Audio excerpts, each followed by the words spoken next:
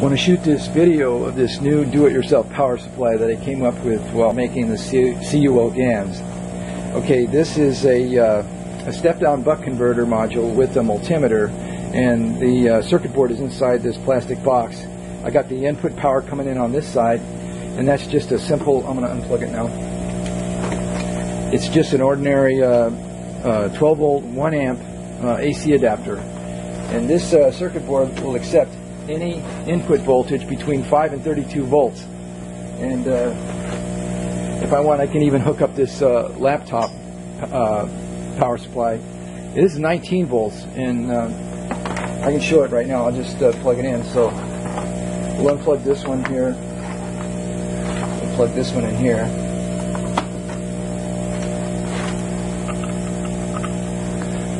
And so I get the same amount of voltage coming out of it as I did with the 12 volt one.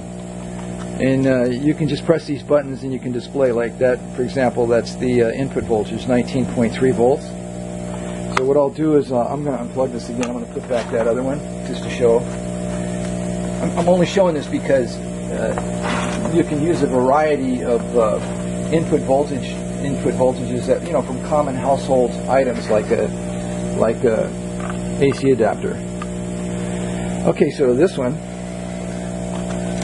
okay, it's still got an output voltage of 1.5 volts, and the input voltage on this one is 12.3. So the reason I like this particular power supply is it's a lot more precision than this older one that I have a previous video on. They both have step-down buck converters, but this one has, uh, this older one has uh, analog uh, input control, and I could only get it as low as 1.4 volts. I couldn't get any lower. And this one has digital input control, and I could get this down as low as a tenth of a volt.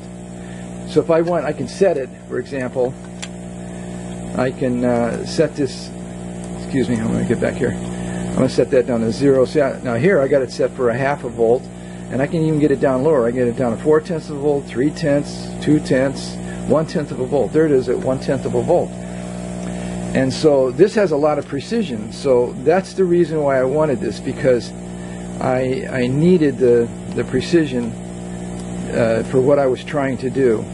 Okay, I'm going to set it back again.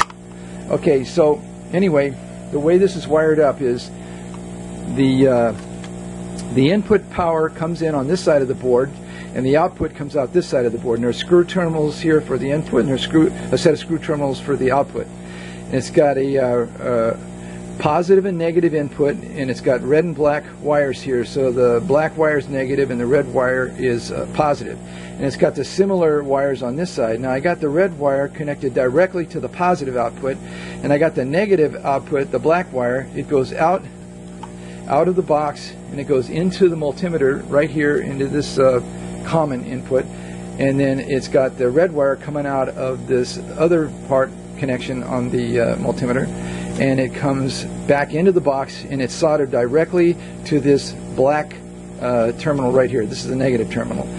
So in order to measure uh, uh current, the multimeter has to be connected in series to the output, uh, one of the output leads. So that's the way it has to be connected. And the reason I like this uh, do-it-yourself power supply is because number one, it's pretty inexpensive, it's easy to make, and the other thing is I can see voltage and I can see current all at the same time here. So my goal on this uh, CUO GANs was to get right down to somewhere around 3 or 4 milliamps. I didn't want any more than that because uh, I found that with uh, like more current, it I, I didn't get the result that I wanted with it, and it's coming out pretty good. So anyway, I thought I would share this do-it-yourself power supply, and, and I hope you like the video. So that's the end of the video.